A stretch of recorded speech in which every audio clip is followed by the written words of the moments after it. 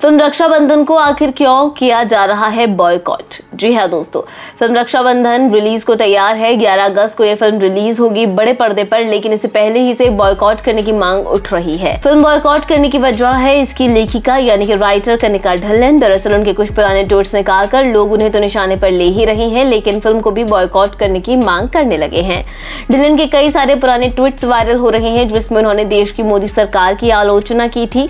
Social media platform पर Twitter पर Akshay Kumar hashtag के साथ फ़िल्म रक्षाबंधन को नहीं देखने की अपील की जा रही है और फ़िल्म को बॉयकॉट करने का ट्रेंड चलाया जा रहा है। इसके साथ ही फ़िल्म के राइटर कनिका ढिल्लन के कई सारे पुराने ट्वीट्स भी शेयर किए जा रहे हैं। ये ट्वीट शाहीन बाग से लेकर गौमूत्र, कोरोना तमाम मुद्दों से जुड़े हैं।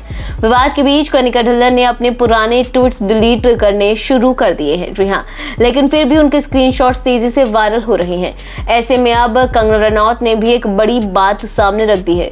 कंगना रनौत ने कहा कि ये सब अपने पुराने ट्वीट्स डिलीट कर रहे हैं। क्योंकि इन्हें डर है कहीं इनका लगाया पैसा अब डूब ना जाए। वेल आपको बता दें कि कई लोगों का कहना है कि वो इन ट्वीट्स के स्क्रीनशॉट्स के साथ इस फ़िल्म को बॉयकॉट करने की मांग उठाते ही रहेंगे।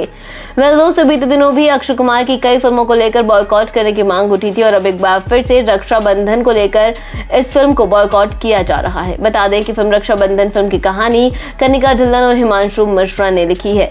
कनिका ढिल्लन अक्सर सोशल मीडिया पर एक्टिव रहती है और देश में चल रहे तमाम मुद्दों पर अक्सर ट्वीट किया करती हैं। हालाँकि अब वो अपने पुराने ट्वीट्स खंगाल रही हैं और उन्हें डिलीट कर रही हैं।